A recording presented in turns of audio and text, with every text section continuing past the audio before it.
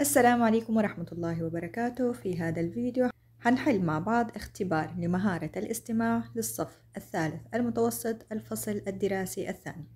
وقبل ما أبدأ بالفيديو بتمنى من كل اللي بيشاهد الفيديو إنه ينزل أسفل الفيديو ويشترك معي في القناة.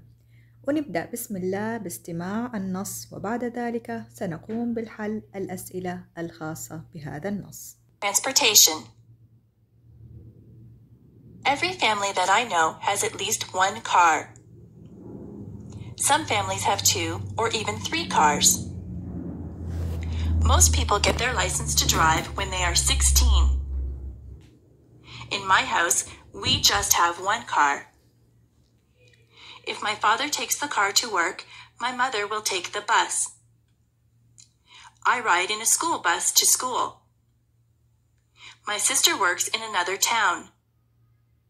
She gets on the train to go to work. The train station is not far from my house. The train tracks run right by my house. My grandfather from Ireland comes to visit us.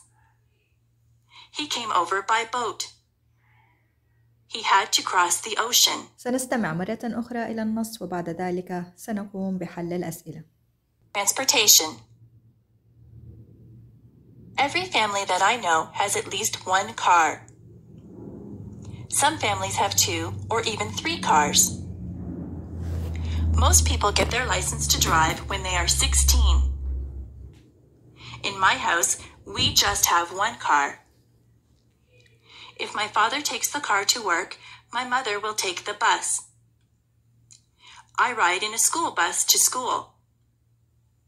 My sister works in another town. She gets on the train to go to work. The train station is not far from my house. The train tracks run right by my house. My grandfather from Ireland comes to visit us. He came over by boat. He had to cross the ocean.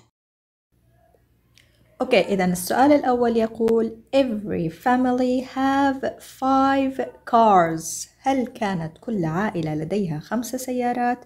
طبعا إجابة false خاطئة السؤال الذي يليه Most people get their license to drive at أي عمر؟ معظم الأشخاص يحصلون على رخصة القيادة في العمر هل 22 years old عمر ال 22 أم 16 years old 16 أم 19 years old.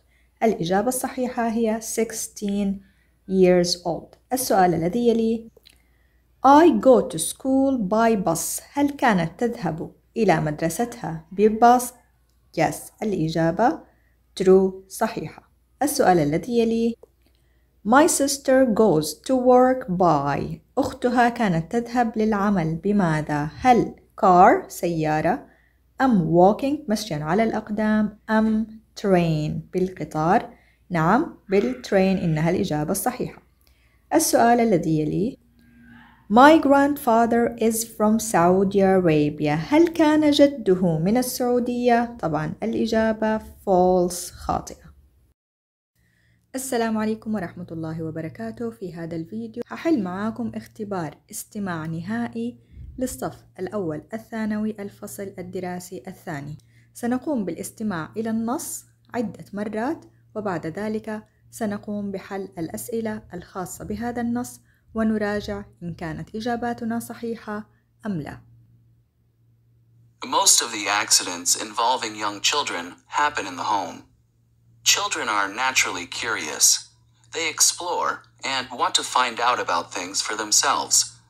If you leave a child out of your sight for a minute, the child will usually get into something. You should try to keep anything dangerous out of the reach of young children. It's very common for children to swallow their parents' pills because the children think the pills are candy. Any sparkling liquid might be confused with soda. The kitchen is a common place for children to have accidents. The stove seems to attract children most of the time. They want to check out what parents are cooking, so they knock over pots and pans and often burn themselves seriously.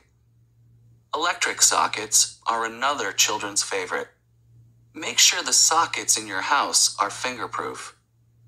If you live in an apartment building and your building doesn't have window bars, keep all the windows locked in case children want to climb on the windowsills and look out. It's even worse if you have a balcony. Some people actually build safety nets to prevent children from falling off balconies. But I think parents' approach to dangerous situations is the most important thing, including things shown on TV. Don't let your child believe that he or she can fly or climb up the side of a 40 story building. Wearing a superhero costume doesn't make anyone a superhero who can fly. If you teach your children how to deal with danger, you will help to keep them out of harm's way.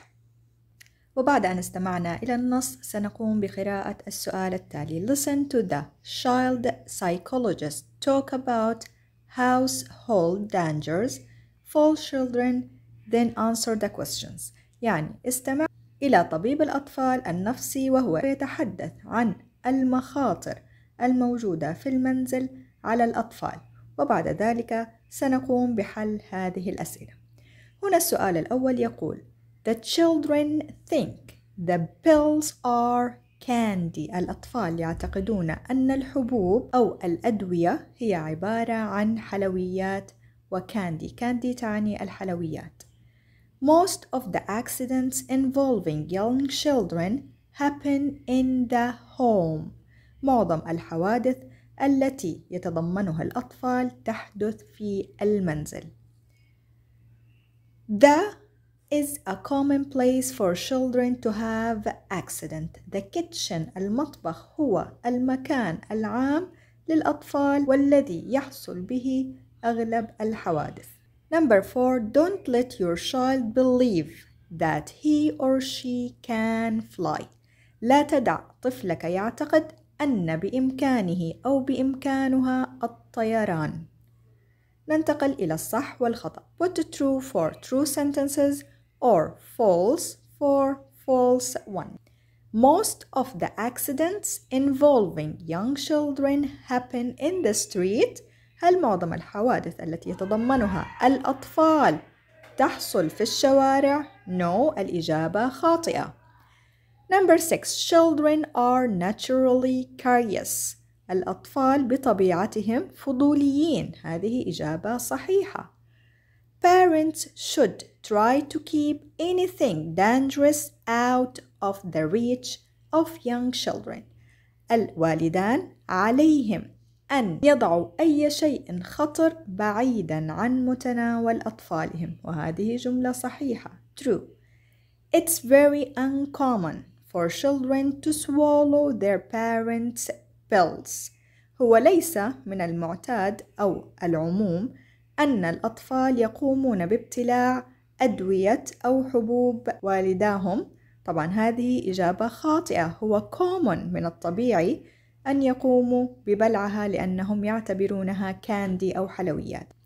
Electric sockets are another children's favorite. فياش الكهرباء هي الشيء الآخر المفضل لدى الأطفال. طبعا إجابة صحيحة. True.